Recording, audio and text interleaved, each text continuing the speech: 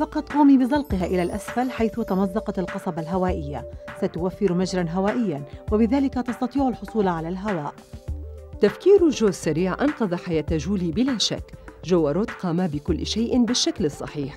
المهم عندما ينزف شخص بشكل سيء اطلب النجدة فوراً دون معالجة الحنجرة المشقوقة قد يؤدي هذا للموت بسرعة.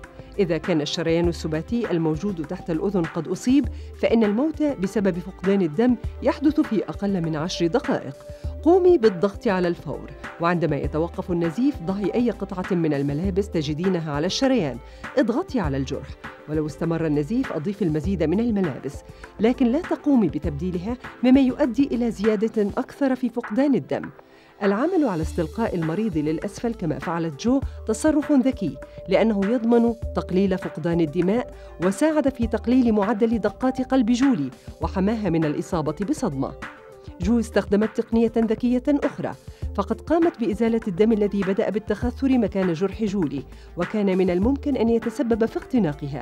شكلت مجرى هوائي بحيث تستطيع جولي التنفس. داخل مطعم في تكساس رجل أبقى المجرى للرجل الذي كان يتناول الطعام مفتوحا باستخدام مصاصة المشروبات. تذكري في حال شق الحنجرة حافظي على كل أونصة من الدم تستطيعين المحافظة عليها داخل الجسم حتى وصول النجدة وأبقي المجرى الهوائي خال لزيادة احتمالية النجاة.